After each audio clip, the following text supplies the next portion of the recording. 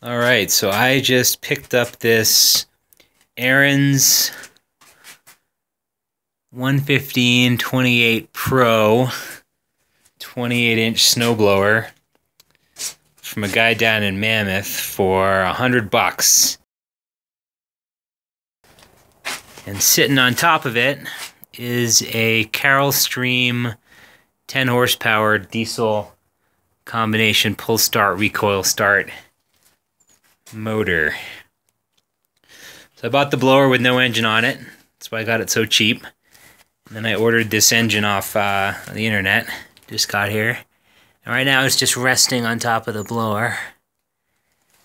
I also went online to Ariens and I bought the pulleys for the stock Ariens engine. This is the drive pulley and this is the auger pulley. This is plastic. I'm not too psyched about that, but I guess that's what they give you. And I don't have any experience with small engines, but um, apparently this is a standard size because the Ariens apparently was a one inch diameter crank or uh, yeah crank, and has some keyway. And the Carroll Stream Chinese diesel motor is also a one inch crank and some kind of keyway. So that's really nice. These fit right on. And uh, yeah, I just need to align the motor so the pulleys line up. And then I bought this half inch aluminum plate. And what I plan to do is sandwich it in between the motor and the and the blower mount the motor to it and mount the blower to it and see what happens. So I can hope that the engine spins the right direction. And I guess we'll see what happens when I oil her up and get and fuel her up. To be continued. So here's the adapter plate mounted on the bottom of the uh, Carroll Stream diesel. It's a half inch aluminum. I uh, put M10 helicoils uh, here on the corners for the uh, uh, actual motor mounting to the adapter plate and they stick out just enough I think that I should put a washer on top. I'll Loctite them too. And then the uh, bottom of the motor casting's, you know, just an irregular casting, so I drilled this pattern in the adapter plate. And these are where the bolts fit uh, without binding up on the bottom of the motor. And so I'm gonna take these out. I'm gonna reattach the adapter plate. I'm going to line it up with the pulleys make a mark, and then drill the corresponding holes to these bad boys in the blower, and then use uh, some fender washers. Hopefully, hopefully it doesn't conflict too much with that bolt pattern. I didn't really think about that. Guess we'll see where it goes. Okay, so here's the final bolt pattern in the bucket here. It's pretty tight. Not perfectly straight, but it's close enough for a V-belt. I misdrilled these two on the left here. I didn't have to drill those, but if you look at the bottom,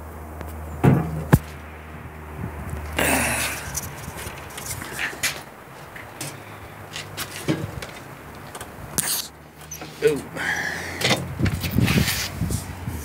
There's, uh, it's tough to see, but there's a bend in the sheet metal, so I wasn't able to get a washer or a nut on that side. So I had to scrap those and drill the other two.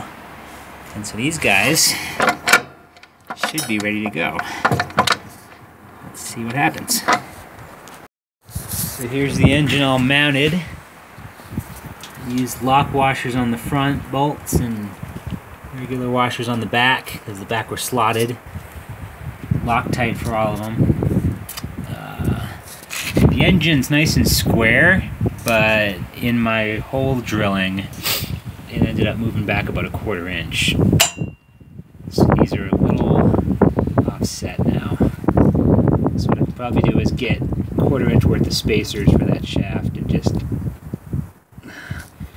press that up against it like that. And then when I add the, I think it's a 7 16 bolt on the front, that'll cinch nicely.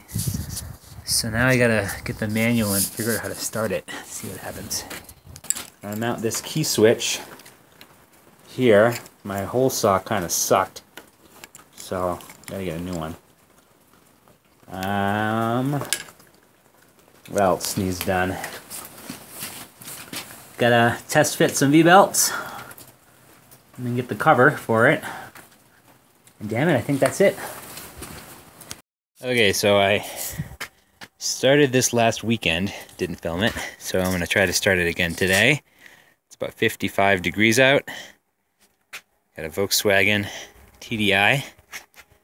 Uh, snowblower diesel.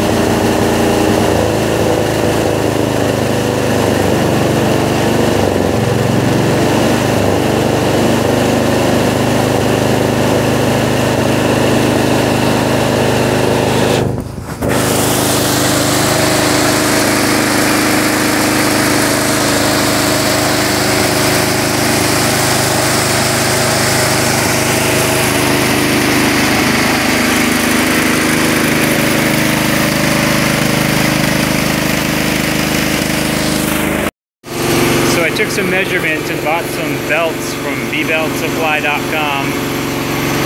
Um, and I'll take you over and have a look at the thing operating.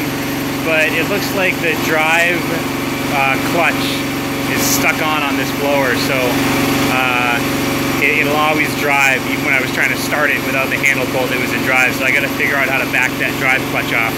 But the auger works, so let's go have a look at the auger.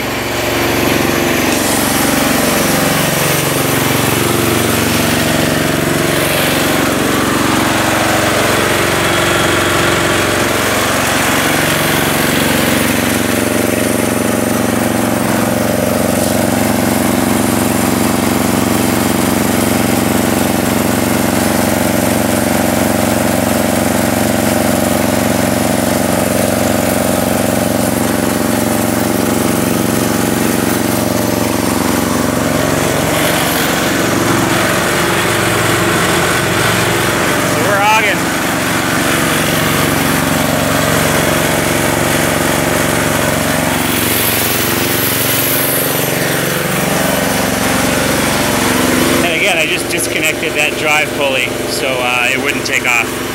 To be continued.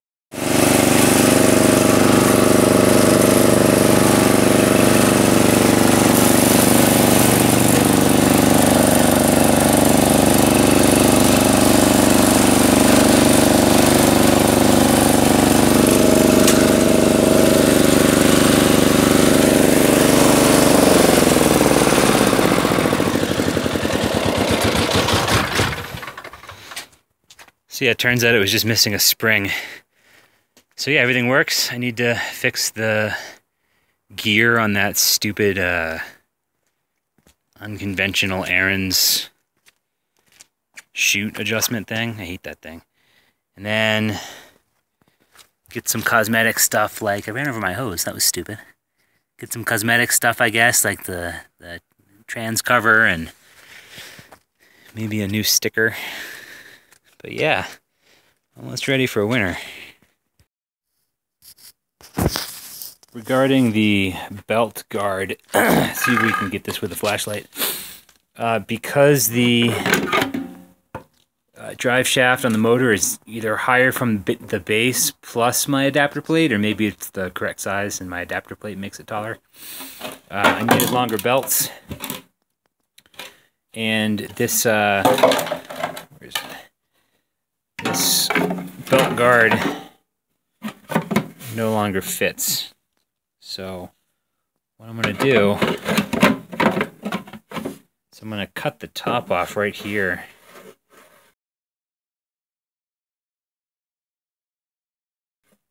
and see if I can inlay some inlay some fiberglass or something to make it taller.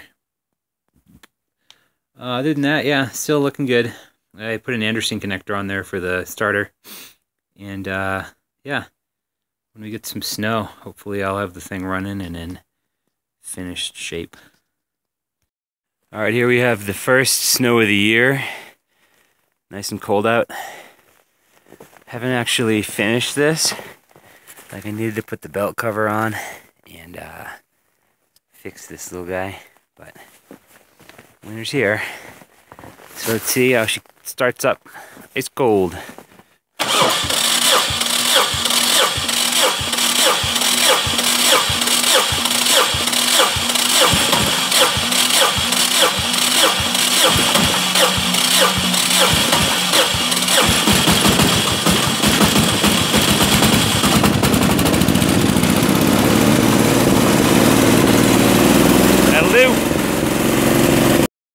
So the diesel Ariens project's almost done.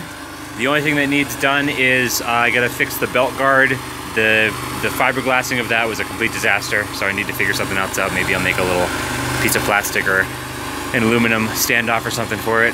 Um, uh, I put a little speed controller on the side, which I'll show when I get over there. And we got dumped on last night. We got shitload of snow, so uh, I'll show you the throttle and then we'll take a pass and that'll probably be it.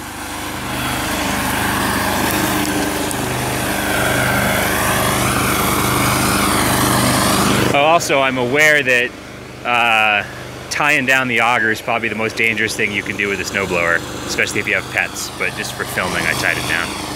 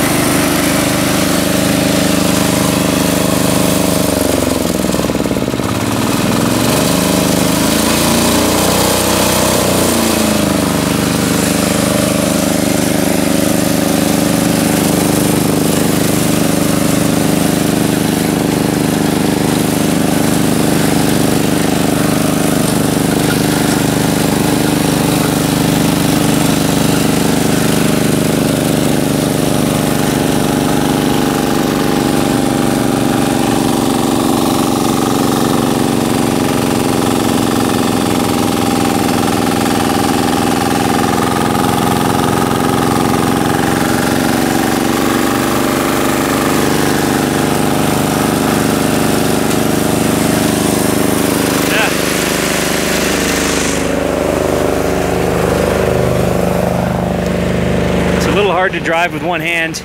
Uh, yeah, this thing's sweet.